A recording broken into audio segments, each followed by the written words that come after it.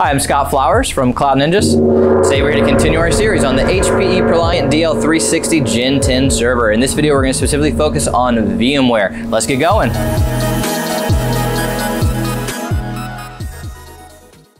Well, hey, thanks for stopping by today to learn a little bit more about the HPE ProLiant DL360 Gen 10 server. Do us a favor, you find anything that helps you in this video, click that like and smash that subscribe. All right, we'll top in. So this video is specifically focused on VMware ESXi. So we're gonna start by listing the compatible versions. It's gonna be 6.5, 6.7, 7.0, and 8.0. Within the first three, it does accept all three different versions, all the way up to V3 on those. And as we're releasing this right now, we're still on the first version of uh, 8.0, and I'm sure it'll work for other versions in the future. So do us a favor, if a new version comes out and it is compatible, let's keep this video relevant. Drop a comment down below to help out users down the line. So all right, well, we're gonna do in this video and all you're gonna need for this video is a USB drive. And what we're gonna do is put in our description section an ISO file that again, if that becomes outdated and there's a new one, let us know and we'll continue to put it on there for people. But you're gonna take the ISO file, you're gonna turn your USB into a bootable USB, you're gonna put your ISO file on this, and then we're gonna show you step-by-step -step instructions on exactly how to install it into your ProLiant. So let's go ahead and hop into the fun part.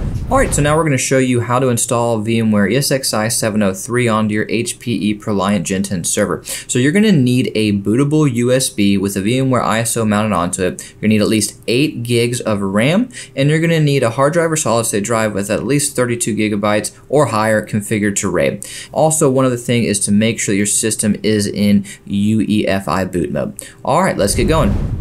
So during the boot menu, you're gonna press F11, and from there, you're gonna want to select your desired USB. In our instance, the USB will be front USB 2, and that will be the one that we are going to want to select. Now what will happen from here is this will begin loading the installation media and it may take a few minutes for this to complete so you might need to sit back for just a second here.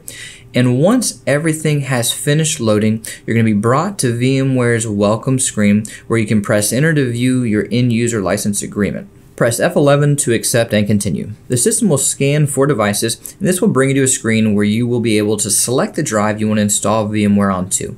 Here we will select HP Logical Volume. Select your desired keyboard layout and set a password and press enter.